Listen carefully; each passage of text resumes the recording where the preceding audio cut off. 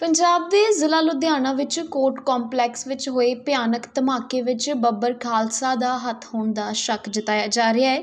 ਇਸ ਸ਼ੱਕ ਦੇ ਆਧਾਰ ਤੇ ਭਾਰਤ ਦੀਆਂ ਖੂਫੀਆ ਏਜੰਸੀਆਂ ਪੂਰੀ ਤਰ੍ਹਾਂ ਚੌਕਸ ਹੋ ਗਈਆਂ ਨੇ ਅਤੇ ਉਹ ਇਸ ਮਾਮਲੇ ਦੀ ਬਰੀਕੀ ਨਾਲ ਜਾਂਚ ਕਰ ਰਹੀਆਂ ਨੇ।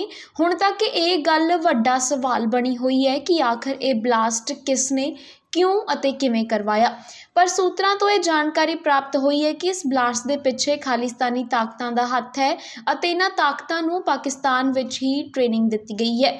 ਸੂਤਰਾਂ ਤੋਂ ਪ੍ਰਾਪਤ ਜਾਣਕਾਰੀ ਅਨੁਸਾਰ ਜਾਂਚ ਏਜੰਸੀਆਂ ਵੱਲੋਂ ਹੁਣ ਤੱਕ ਕੀਤੀ ਗਈ ਜਾਂਚ ਦੌਰਾਨ ਇਹ ਖਬਰ ਸਾਹਮਣੇ ਆਈ ਹੈ ਕਿ ਇਸ ਧਮਾਕੇ ਪਿੱਛੇ ਕੌਮਾਂਤਰੀ ਅੱਤਵਾਦੀ ਸੰਗਠਨ ਬੱਬਰ ਖਾਲਸਾ ਦਾ ਹੱਥ ਹੋ ਸਕਦਾ ਹੈ।